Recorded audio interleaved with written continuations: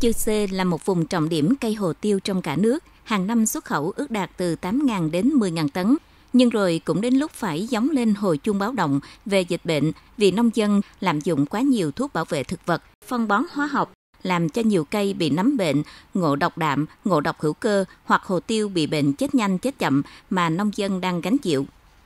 Hiệp hội Hồ tiêu Chư Sê là người đứng mũi chịu sào, luôn luôn tìm những biện pháp khoa học kỹ thuật, làm đầu mối để tổ chức việc liên kết sản xuất bốn nhà giữa doanh nghiệp với nông dân, phối hợp với các nhà khoa học để ứng dụng các tiến bộ khoa học kỹ thuật mới vào quá trình canh tác hồ tiêu.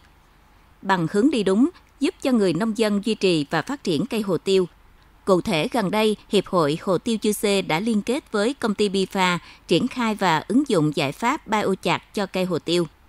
Biochar là một loại than sinh học được tiến sĩ Nguyễn Đăng Nghĩa phối hợp cùng công ty cổ phần Bifa Bình Định thực hiện.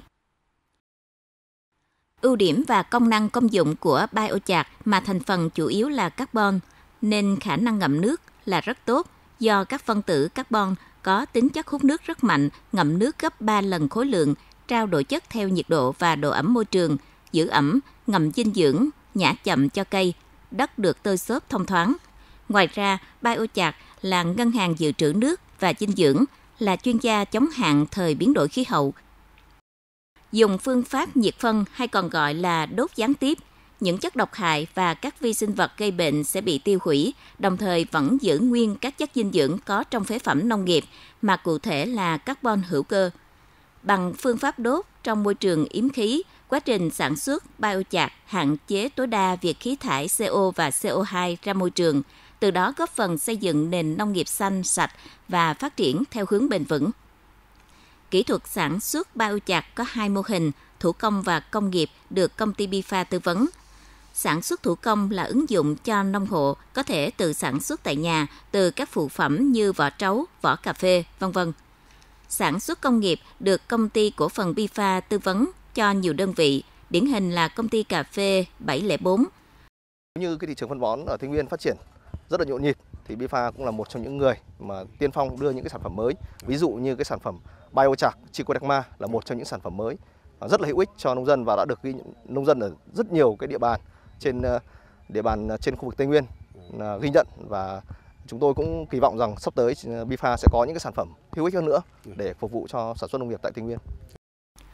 Lượng phân bón biochar sau khi thu được vẫn giữ nguyên 90% các chất có trong vỏ trấu, vỏ cà phê và các phụ phẩm nông nghiệp, trong đó 60% là carbon. Lượng carbon này giúp cải tạo đất, đẩy nhanh sự phát triển của các vi sinh vật có trong đất, đặc biệt làm tăng độ phì cho đất, tăng năng suất trên nhiều loại cây trồng.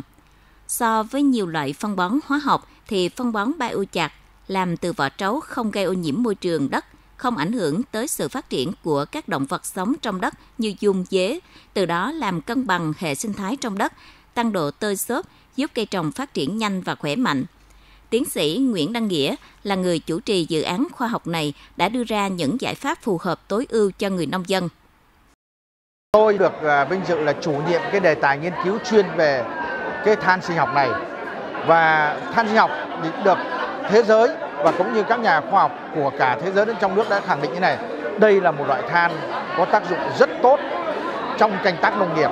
bởi vì nó cải tạo đất nó cải thiện toàn bộ cái tính chất vật lý hóa học và sinh học trong đất. Ngoài ra nó lại kích thích những hệ vi sinh vật nó gọi là những con vi sinh vật có lợi. Mà khi con vi sinh vật có lợi nó phát triển lên thì nó đánh lại những con vi sinh vật có hại như vậy nó ít bệnh hơn nó sạch bệnh hơn. Và như vậy thì chúng ta thấy cái than sinh học rất tác dụng. Theo ông Võ Tuấn Toàn, giám đốc công ty phân bón Bifa, việc phát triển phân sinh học biochar dựa trên hợp chất hữu cơ làm nền tảng để từ đó kết hợp hiệu quả tối ưu cho biochar. Cái dự án uh, sản xuất cái phân hữu cơ cao cấp trên nền uh, biochar than sinh học á, là dự án do công ty Bifa là đơn vị chủ trì. Uh, tôi tham gia với tư cách là chủ nhiệm dự án. Thì cái này chúng tôi uh, rất là đam mê và hiện nay thì cũng đã liên kết được với một số công ty cà phê ở Tây Nguyên và đã làm được các cái mô hình tạo ra các sản phẩm sinh học đạt hiệu quả rất là cao. Và tôi hy vọng rằng trong cái thời gian sắp tới thì sản phẩm của đề tài này sẽ được